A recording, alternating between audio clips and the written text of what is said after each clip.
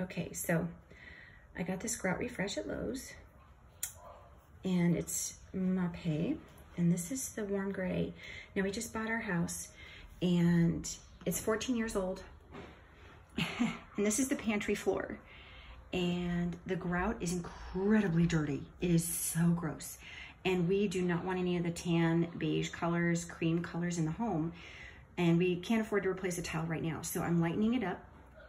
And um, I mean like this is, this is how dirty it is, the grout. And then I come over to a corner, you're gonna see dirty floors. I have so much scrubbing to do. It's even a little lighter there, but it is so dark. And um, I, I cleaned out the grout I, I swept him off the floor and then I cleaned the grout where I could see like specks of food or grime. Um, you know, I just used a little scrubby brush and some Windex. Windex is really good to clean it. And then I um, waited for it to dry. And then I squeezed a small line from the tip of this into the grout. Now, you want thin lines like this, this thick line. For example, when I start wiping it with my little brush, it builds up. Now, if you get if you get this little bead, I don't know if you can see it. If you get this bead of buildup, it's hard to rub it off with a damp cloth. So I've smoothed it out.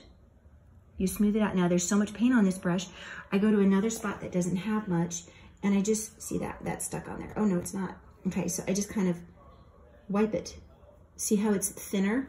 But if you wanna keep it thick inside here, but thin it out on the top of the tile so it's easier to wipe. And so I come back over here and it's still pretty thick. And I rub it down.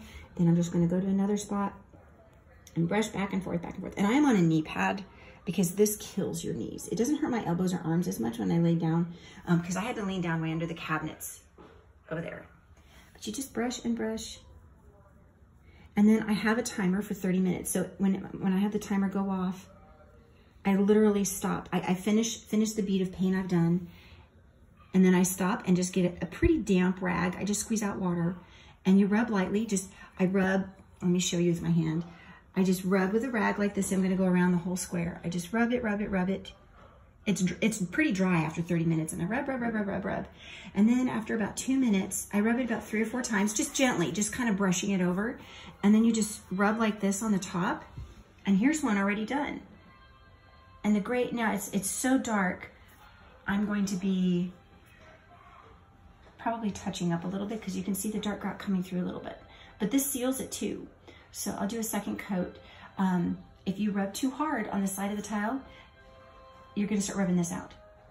So if your, damp rag has softened this, the paint on the side, if it has softened the paint on the side enough, you can see it, it'll soften all this paint. It'll just rub right up and it leaves like tacky, little tacky flakes when you rub the paint up. So I've either been vacuuming them up with my little Dyson or sweeping it up. And it is great. I really love this. It's lightened the floors. And if I just, you're gonna see my mess of a kitchen after moving, but if I swing over here, I have a long way to go. This is, this goes to the laundry room. I already did all that way. It was so much work. And then Look, I have, you're gonna see my kitchen all the way that way and all the way that way with my kitchen stuff. So it'll be a long process. I might not do it until the movers are gone because I know that they're gonna be walking and treading on this and I don't want it to get messed up with furniture and heavy, heavy traffic. It'll still get heavy traffic, but I've heard good reviews. So that's that. And, um, and this tile is a peachy little peachy. It has, well, cream in it, but it has gray. It has gray and it's lighter in some areas. So I'm, I think it looks pretty good. Anyway, I love it. Love it, I love it. And this stuff, it's probably, I don't know, to here.